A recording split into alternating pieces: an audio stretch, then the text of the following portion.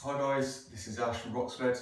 Uh, today we've got a bit of an informal video. First time I've really had to do uh, something like this. Um, just talking about the philosophy and uh, reasoning and thinking behind a fork like this. Um, and then talking about the second prototype, uh, some drawbacks, benefits, and then plans for the future basically. Um, so, the philosophy behind the fork, why did I decide to build something like this? I've always thought telescopic forks were good. The good ones are really good, um, but there's always room for improvement. And I think because there's been so much R&D money put into telescopic forks, and they're so far down that path now, uh, they kind of have to keep going with that design. Um, whereas just a single person like me, just a amateur inventor, engineer, whatever you want to uh, call it, um, can really go out of their way to do things like this without being um, constrained by any rules or regulations or anything. Um, so the number one thing was to be able to use uh, just an off-the-shelf rear shock, as I've got here. Um, this happens to be metric size, 230 by 65. Uh, mainly just so that we could swap in and out. So if we wanted a coil shock, we could go with one. If we wanted a, an air shock, we could go with one. If we wanted uh, a budget version, so this cost me, this is second hand, this Marzocchi Bomber CR. So this was 220 pounds, I think, used. Uh, you can use a, a, budget shock if you want to go boutique. You can use a boutique shock if you like. And the idea was that you could switch backwards and forwards with no um, real penalty to performance. Um, whereas with telescopic forks, you can't always do that. Obviously, there's aftermarket um, suspension tuners like Push, Avalanche, um, trying to think of some others. You know the ones I mean, um, where you know that they do upgraded internals, but you can't always go from an air an air shock or air sprung fork to a, a coil sprung one and back again. You can't always swap and change, and there's very few options available really. Uh, whereas with a fork like this, effectively what I'm doing is designing the, the chassis or the frame with the fork if you like, just like the rear of the bike, and then the, the rider gets to choose their own shock, coil, boutique, budget, um, air, whatever. Um, so what kind of features does this fork have that telescopic forks do, uh, uh, don't have? Obviously the first one I've just mentioned, the ability to use uh, off-the-shelf rear shocks.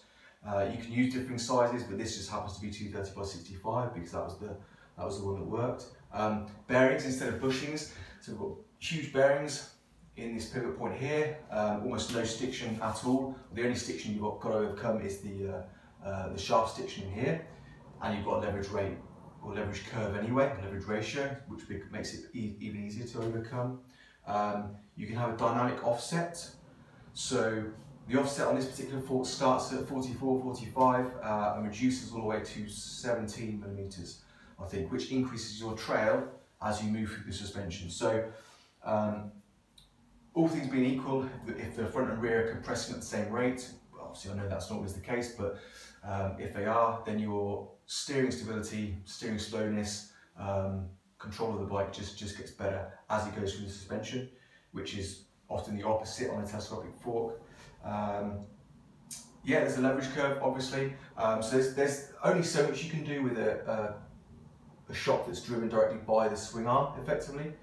Um, so this is a, a starts at 2.54, I think, and goes down to about uh, just over two. Um, so not, not massively progressive, but more than enough for this coil shock. I don't think I've bottomed out too many times. Um, and even when I have, I haven't been able to feel it that much. Um,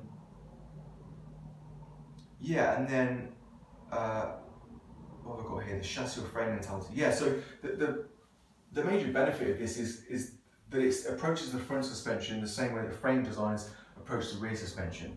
So a frame designer won't really, they won't design or the, the shock and the damper are not part of the system necessarily.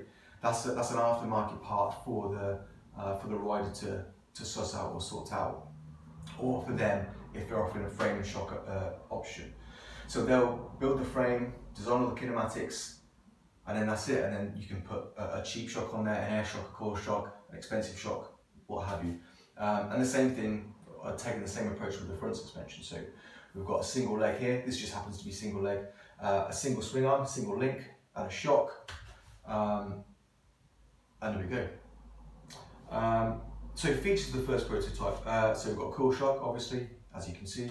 Uh, it's one-sided, not because I wanted it to be outlandish or um, to stand out just because it was simpler to make uh, and required fewer parts.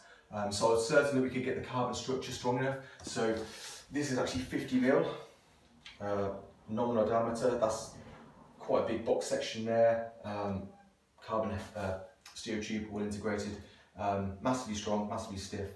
Uh, and then we've got a single link here that runs on a 20 millimeter uh, axle, single bolt all the way through.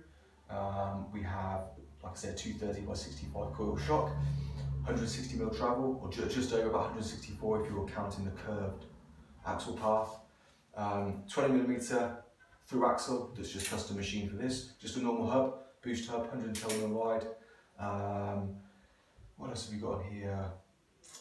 Yeah, extremely, extremely low breakaway force. So I hope you can see this on the video. Just pushing down a tiny bit on the handlebars, you can see the fork start to move. It's extremely, extremely smooth. If you can push on the seat,